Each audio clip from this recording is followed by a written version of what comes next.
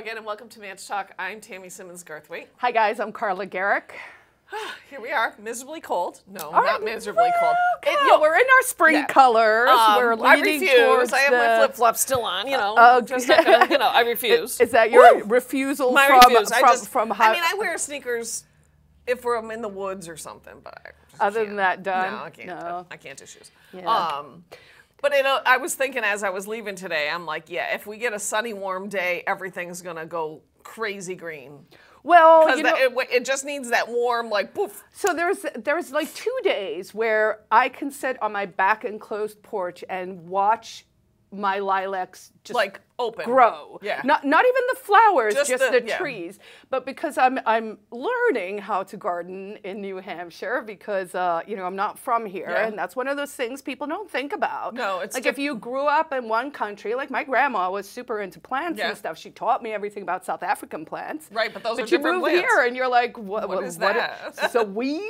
Should I be leaving it? You know, I'm very in the dandelion clover. Well, no, the clover's great. Like I, uh, we we overseeded our front lawn a couple two years ago, I think, um, to try to kill out the weeds without using pesticides. and I would do it again. And then I also want to sod a section of my side yard because I don't want to. I I can't deal with the waiting for it to grow and the birds eat the seed and then I just Yeah. I don't water it and then it's dead.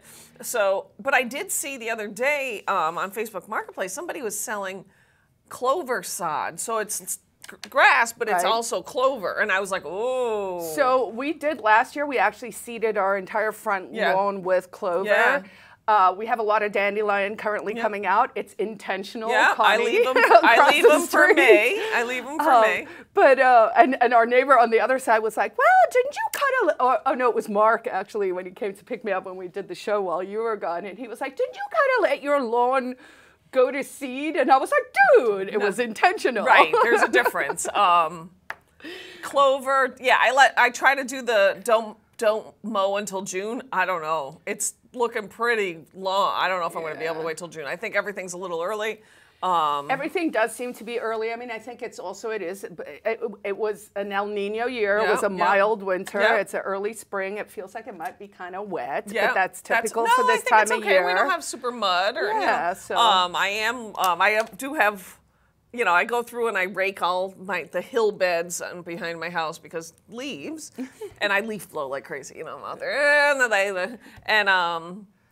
I noticed like you know all the little hosta fingers start coming up, and there's a couple near my step front my deck steps, and I was I looked at them yesterday. I'm like, yeah, you grew a lot since I was out here. The other- You know, they went from being these little nubs to all of a sudden I'm like, oh, I think I, I need have to. half my garden is actually Yeah. flowering. I have like my tulips. I've Yeah, cut I got my tulips. my living room. They, it's funny because I was counting and I was like, okay, so we've got 14 tulips and one open, and then like the next day I'm like, oh, now we got eight open. I have So, uh, I have should- all seven of mine that are Yeah. open are in my dining room. yeah, Um, I thought about going out and just cutting them because I'm like, well, I'd probably appreciate Well, the it first few years, I was like, no, let them be in the garden. How And then you don't natural and whatever. And then I was like, It's one, rainy. it's you don't see them. Two, my squirrels actually like them for some reason. They something maybe it's not the squirrels, but I think it is something eats them. Yeah, So deer, deer will eat them. well, I don't. If I, if I have a deer in my backyard, we are in trouble. Um, I did see a funny meme go by this week, which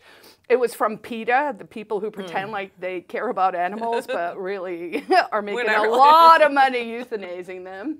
Anyway, they uh, they put on a meme that said, "If you wouldn't eat a T Rex, don't eat chickens," which is the joke, of course, about my backyard Yeah, dinosaurs, but right? It's like, but I would eat. And I was like, well, I mean, I don't know what they're going for here, You're but right. if that's the trade-off, I think we're all going to eat T-Rex. yeah, that's right, that's right. Um, So tell me about Saturday at the park. Oh, it was great. So I'm on the board of, as is um, Carla's husband Louis, on the board of the Friends of the Piscataquog River Park, and we're a two-year-old organization. I don't even think it's quite two years old yet.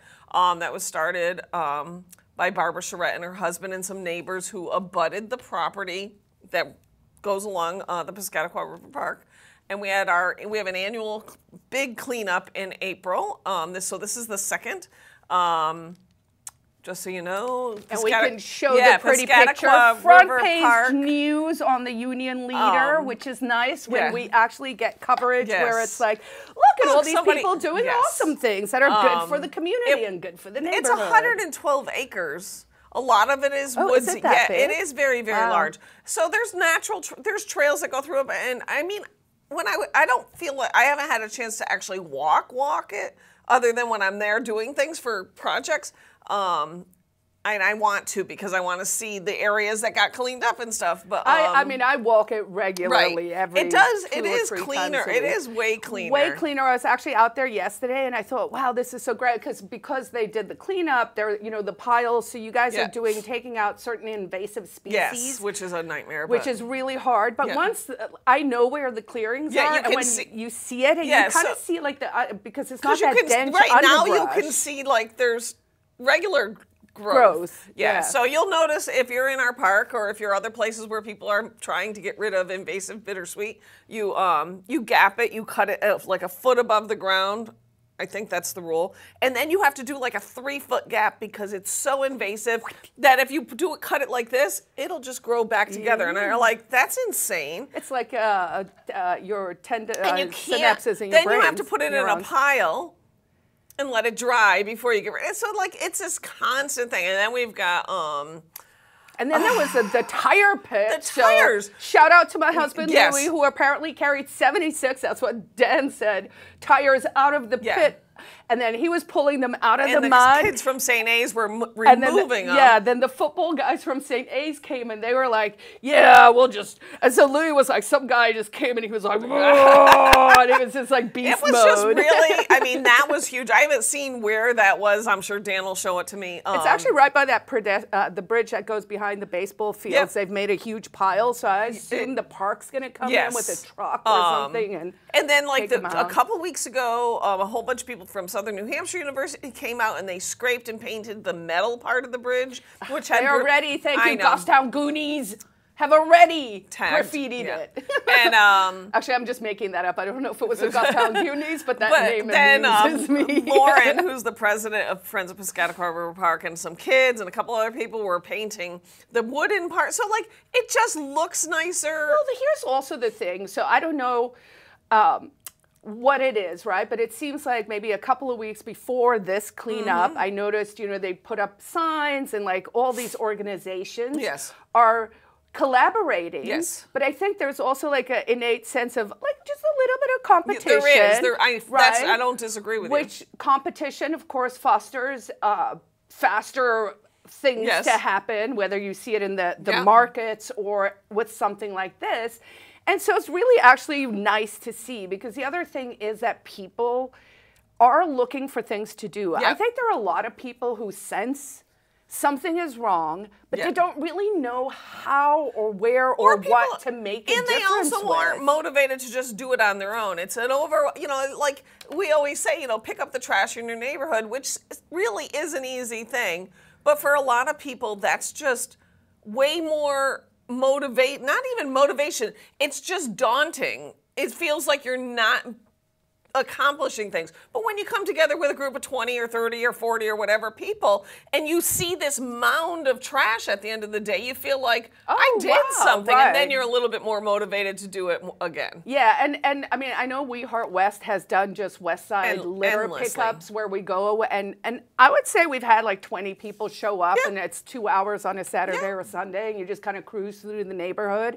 This time of year when it's really Yeah. really kind of Well, dirty, it's hard the mel- snow's because I notice. I, I also try to be objective because I, I know I'm super critical of Manchester always looking like a place. um, and I see certain areas that always look clean. So I try to be conscious when I'm driving. Like if I'm coming down Dubuque Street and I look and I'm like, well, actually, you know, I'm not saying Dubuque Street in particular.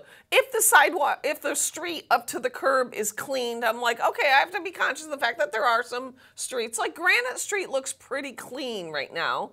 Um, but then there's other parts, obviously, that could be much better. But it's like it's that grunge across along the edge that drives me nuts because it's it just brings down the the whole desire to clean up a, a block. So does the park have? Uh, are you guys? Is there another cleanup? Is there? Oh, there's always things going on. involved You can go to piscataquog.org. So that's P I S C A T A Q U O G dot org. That's the Friends of the Piscataquog River Park. Or you could Google Piscataquog River Park, Manchester, and it'll drive you to the the parks page, and there's information there. Um, And uh, if you're down at the river, my heron is back. yeah, saw I saw the heron when I was talking to the reporter. I was like, oh, look, there goes the Louis. Yeah. said he was like, "Oh, I think your bird's back." I know the Audubon Society wants to do a bird walk through the Oh, park. that'd be pretty. And That'd we're planning nice. different things. You know, everybody's got a life, so there's only so much. But we are working. We have plans to do a um, wildflower, like uh, what do you call it? Oh, like a um, seeding, But what do you call it? The bees. Uh, uh, pollination. pollination, pollinators garden. We have an area that we, that'll That probably really be a big. does make a difference. Yeah. And it's good. It's good for the the pollinators, and it does look better than crappy. You know, Which is why with the wildflowers too, you know, to Mark's point, it's not that I let it go to seed. I You just, just- yeah. prefer that. Like wildflowers, I mean, it attracts Yeah. birds. And honestly, last year our wildflowers came up probably three weeks from now. Yeah. And they were there They're- through yeah. October because Yeah, I have a pile of seeds that I keep buying over the years, and they might be spent. You know, they might not ever. And we took out some shrubs at the front of the driveway between us and our neighbor because they were all gangly, and they were, you know, the, the truck would hit them when they pull in their driveway. Mm. So I do want to like rake that up, put some loam down, and then just like put all the seeds I've got squirreled away, and whatever grows grows, and it'll be just like be a little miracle garden. If it doesn't like, grow, it'll just be fewer things up in here? my I'll be house. like Tammy, Uh, right. that weed? um, So uh, the reason I thought about the the wildflowers is because I know on one of the NBC clips I was actually Yeah. struck. I was like, oh wow, you know those flowers actually last Yeah. really long. So do. I'm gonna give a shout out for folks who have been following along with the NBC uh, series that was made. That was NBC Boston.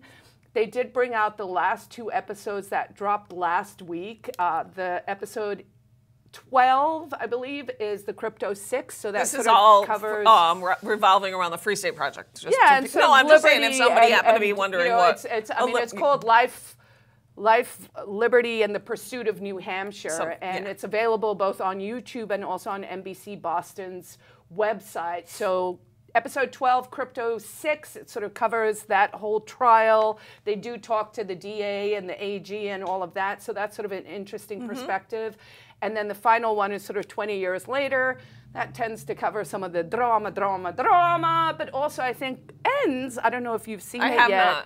Uh, sort of ends on a hopeful, positive, hey, we're going into the next gen sort of vibe. So uh, for those of you who did watch the whole series, and if you haven't, and honestly, if you're a hater, you should watch it too.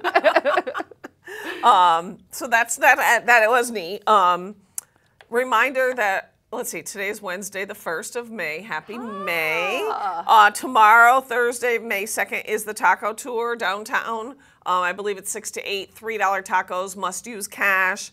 Um, reminder that the roads close at noon, and um, it, don't park. Don't park on Elm Street between Granite and Bridge. Don't park on the little side streets between Elm and Chestnut. Um, you'll get towed, and rightfully so, because there's a major event going on down there tomorrow. Um, I also saw this. I got um, the Nixle alert, which I wish they would just put the words in the email. Can you can you explain to me what Nixle is? What is it? I'm How do you get it? um, if you go to- You can go to, I know you can go to the city website. And again, somebody asked on Facebook the other day how to find the noise ordinance. And they were on the city website and they were using the search field and they couldn't find it. And I replied with the link because I looked. And I said, to be honest, I find it easier if you just Google or whatever search engine you're using. You know, Manchester, New Hampshire noise ordinance, and it'll direct you usually to the web page that you need the the search on the city's website just never seems to bring up what I'm looking for. So um, you could probably Google Manchester NH Nixle N I X L. I think it's N I X L um, alert, and I bet it will bring you to where you can sign up and it's a whole list of things like you can sign up for snow emergencies and you can sign up for this so that you can get the information And is it a text message you receive? um, I get it via email. I don't know. It might have a text option. Um, and then it, when you get it, it, it doesn't tell you. It just gives you the headline. So that's a little pain in the butt, but it's still. Um, and And uh, correct me if I'm wrong. This uh, sort of originated because they encrypted the police scanners, or Nixle, no? I think, was before that. Was it? Um, it just wasn't as com. You know, just like everything, you start something and only a few people. But I feel like I've had the alerts for a long time. I mean, it's certainly been at least 10 years that it's existed, I it's- want to say. it- and it's it's probably been almost 10 years know- since the, actually, the West Side lockdown was 2016. Jeez, that's crazy, so- right? Um, so you know, if you want to know about, there's like I said, there's endless options you can take. Because if you have kids in school, you might want to know about school closures. I don't need to get alerted about school closures, but um, really realizing this is happening now, um, April 29th, which would have been two days ago, through May 3rd, which is Friday. So still, if you're watching this on Facebook or watching the show before Friday, um, there is work being done on the Riverwalk from Queen City to Hands Across America Bridge. Okay. Okay. well, now we know what the bridge's name is. Oh, you didn't know that? Oh yeah, it's the Hands Across America Bridge. I knew that. the, the foot, the, the footbridge, the walking bridge is the Hands Across America Bridge. The Hands Across the Merrimack Bridge, um, because they raised money. That was the group that raised the money to do it years ago. Okay. Talk about a long time ago. Right. It's got, I mean, And it, it was um, it was named for Emil Bulio. someone Hunt, I want to say, is the big bull at the end of the one side of the bridge don't with a name. Um, but, But they were do- they're doing work down there. It says includes excavation, preparation, and installation of new pavement and loam and seeding the area. So that's kind of cool. Okay. Um, paving will be performed on the 30th, which is yesterday. It'll be the river walk would be closed. Um, for paving. So, anyways, if t- you know, if you happen to be, if you think you're going to come up from Queen City on the river walk to go to Taco to tomorrow night, you probably aren't. Um, so there is things. It does seem like there's a lot of things. I mean, it's typical spring. I see paving going on in different spots. I was up at um, the Hill, which is at McIntyre, yesterday, uh, scheduling a fundraiser for Victoria Sullivan, and I noticed they're doing a lot of paving right there on, I guess that's Smith Road. seems like that whole road because I've been over the the primary. They were having a lot of Yeah. events up there, and it was almost impossible to get Well, to McIntyre because it was almost like constant. you know Yeah, and, constantly. well, I, don't think know- they're moving water pipes. Well, I was going to say I'm not really sure where the Christian Brooks sewer project actually is, but I get emails about that constantly and the update because that I guess is a major project that's been going on for you know like two years now. Um, so that might have something to do with you know they're replacing the sewer drains. So uh, I watched a really good documentary last night about the gut biome, which I would recommend Yes. on, on Netflix because your sewage Yes. statement reminded me about their. We have uh, our know, own it's- sewage it's- system. it- well, it's all about the poop, right, with your microbiome. so it's uh, it's well worth watching because the science is now starting to get there, where people are starting to understand that there is actually this mind gut connection Yep. And that you know whatever is happening in your biome really has a massive impact both on your health but also on your mental health. And so uh, i mean we were laughing because years ago i mean i think it's before simpsons even predicted it you know i've always had issues and louis was like i should give you a poop transfer right? And i was like no! Right? But now it's actually the thing du jour. So much so that they can do a transfer because they because they sequence the genome Yes. they can now look at the bacteria, right? Yes. And they can isolate and identify the different kinds of bacteria. So they know that there are certain things that actually make you depressed. Yes. And some people, and certain that make you obese, Yeah, and that well, certain um, obese people don't have the one that will make you skinny. So one of the people in the movie is this woman who's like, I've been dieting my whole life, and it doesn't work. Yep. And then they did the transplant, and now she's Yeah, I- on her way. We were listening to a podcast about a very similar subject matter, and I'll come back to it in a second. But um, and they were talking about uh, the way our you know they can't really understand it all because it's hard. It's it's science, you know. But um, they were saying um, that people lose people who once you've gained weight. So say you're you know at uh, your body is naturally wants an 18% body fat, like your one person's body, but then they gain weight and they are up at a 30% body weight, you know, body fat now their body doesn't want that 18 anymore. Now it thinks it should be up here, so it doesn't want to lose weight because it doesn't think it's supposed to. It thinks this is where I need to be. And it makes it so that the more people, the heavier people are, the harder it is for them to lose weight, which is frustrating besides the depression issue. But it's frustrating because you could lose weight when you didn't really need to lose weight, but when you do need to lose weight, it's really hard. So that bringing that back, so Dan and I, and this is our week two. I don't know if you, if I even told you. This. So we started a, a GLP-1 inhibitor Okay. program, which is uh, it's not Ozempic, but it's along that line. Um, it'll be interesting. I'm very curious to see how this plays out. Um, Is it a medicine or? it is an injection. Okay. It is a drug. It um, and it's a it's a inhibitor. So what it basically does, for the lack of better explanation, is it tells um, the receptor that tells you you're hungry that you're not. So or it tells you sooner. So Nora, and I do think there is a So it- that's sort of like naltrexone, which is a drug that no one seems to know about. It's actually over the counter. It's the biggest secret in the history of mankind, uh, which will ma- make you not want to drink Yeah, it's alcohol the, it's the same after concept. There's two drinks. the, uh, the, the, the, the, nurse I have the practitioner rules that not we on went- that. I don't know. What- Well, right. maybe Well, because Big Pharma can't make money out of it. We were listening to them and this guy talk, and he was talking about like McDonald's and fast food and all this stuff. And I just kind of chuckled and I looked over at Dan. I go, wait a minute.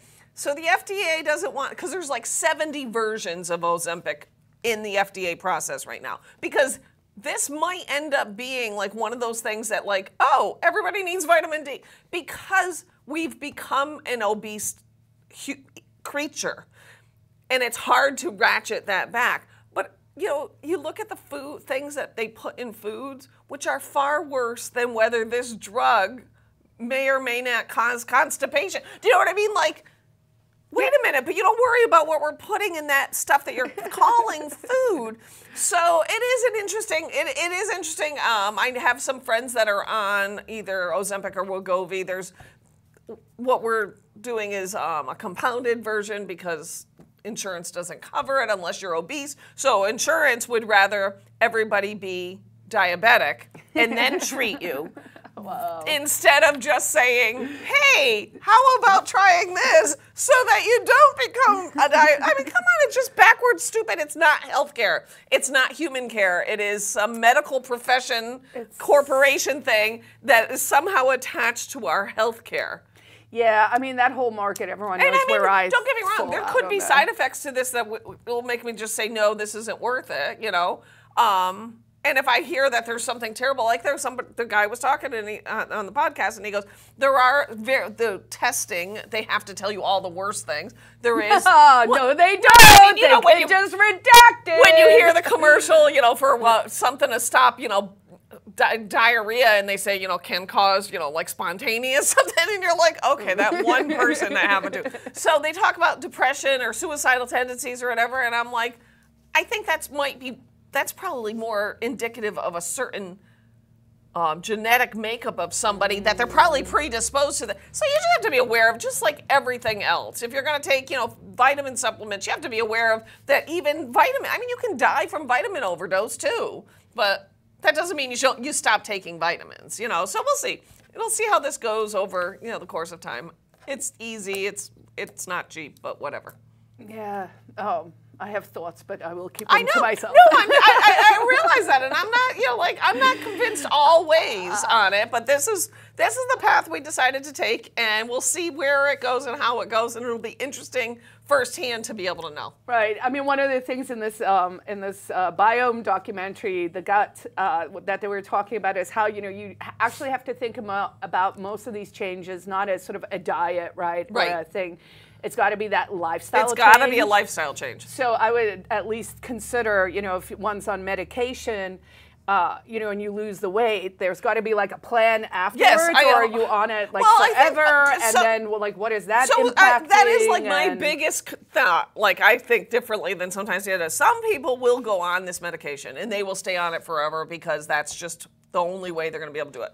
I'm looking at it this way because it is rather bizarre to feel this way. You know, normally you sit down and you order a dinner at Fratello's. You're having this great pasta dinner. I think I ate like four bites of it. And it's either in my head already that I'm not going to eat, eat so much, or it is actually the drug telling me that I'm not going to eat so much. And then you just don't. So I'm like, okay, so say you do this for two years and you condition yourself that you no longer need the whole burger and the whole fries at lunch. So one of the guys in the documentary was a professional hot dog eater. He was a oh. Japanese gentleman, and he was in the program because he did not have the ability to feel satiated anymore. He had eaten. prob- he was he, like he was He still would- number right. one at 40 years old or And whatever. you can't, your body can't say, well, just right now. So and also like literally hot dogs, right? So it's Right. like, oh my god, what is his biome? Has just had like the worst food for like you know 30 years or whatever. Um, so they they put him in an MRI, right, to do brain scans, and one of the MRIs would be a loop of, of photos of food, right? Yeah. So it's interesting because when I quit drinking, I noticed one of the initial things was It's if like, you watch look a at that. Ooh, movie look at or that." a something someone Yeah. in a bar like you would actually start salivating right like you're and then after a while that, that wears- stopped right that sort of Pavlovian response and now actually I said to Louis last night I was watching a movie and I actually realized like halfway through the scene I was like oh they're at a bar like I didn't, Didn't even even- know it wasn't- it was just it was just yeah it was just like whatever right so this guy's MRI had his brain uniquely had it was firing like literal red in every region of the brain he saw food. that has anything to do with appetite, food, self-control, whatever. So the other people's brains would have would light up with something, right? Like it would light up on the mac and cheese Yeah, or whatever. right, right. But his actually activated all the different parts of his brain. So they were positing that's because he had to like mentally train himself to like not have a gag reflex, like Yeah. just to be able to like just to be able to do it. I mean, it's so gross, right? Um, so he really has to almost like Retrain, rewire right. his brain, right? Which is part of cognitive behavioral therapy. It's part of like how people Yep. can heal themselves, right? So I'm a big proponent if there's pharma that's like not going to make you right. sicker That's what I- that's- and has a solution Yes. that maybe puts you on the track. Yes, so that you can retrain your brain, so that you're not eating this much food because that's how you. I mean, we're, you think about it. A lot of people, Well, myself it's also something like a plate of pasta. I mean, I know you don't want to hear it, but it is literally glucose on a plate, and so you're Right, it's like if you ate- sugar. it's exactly, like if you were to eat- it's like eating a cake. exactly just like a loaf of bread or whatever. Like, but to have a couple mouth uh, forks of it is tolerable. Right. So if I, you know, like, we'll see. It'll be interesting. We will see. We will be back again next week. It'll This be glorious and, and nice and warm, I hope, because I'm going camping a week from this weekend, so it better get warm soon. Um, if you guys have any feedback, of course, get in touch, manch uh, talk at gmail.com. Yep, you got it. And uh, we will see you guys next week. Take Bye. care. Bye.